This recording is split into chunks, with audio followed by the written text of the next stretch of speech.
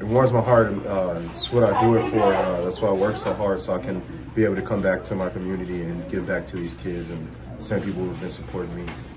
Talk about the reaction you just saw here at this school with all these kids just going crazy, yelling out for your name. Uh, it was it was amazing. I haven't seen anything like that. I said I might have to pack them in my bag and take them up to Green Bay with me and have my own cheering section. It was amazing. The reception was uh, everything to me.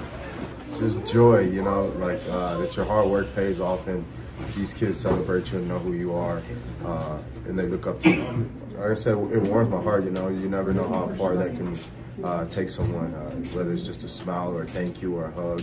You know, you did a. I, I know I've done a lot to help someone out. So that's all I want to do be, do is be a helping hand in, in my community.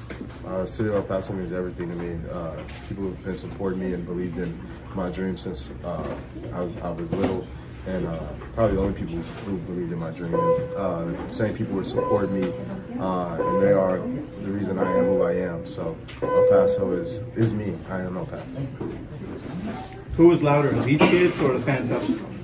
Ooh, that's, they definitely get the fans a run for their money up in Lambeau.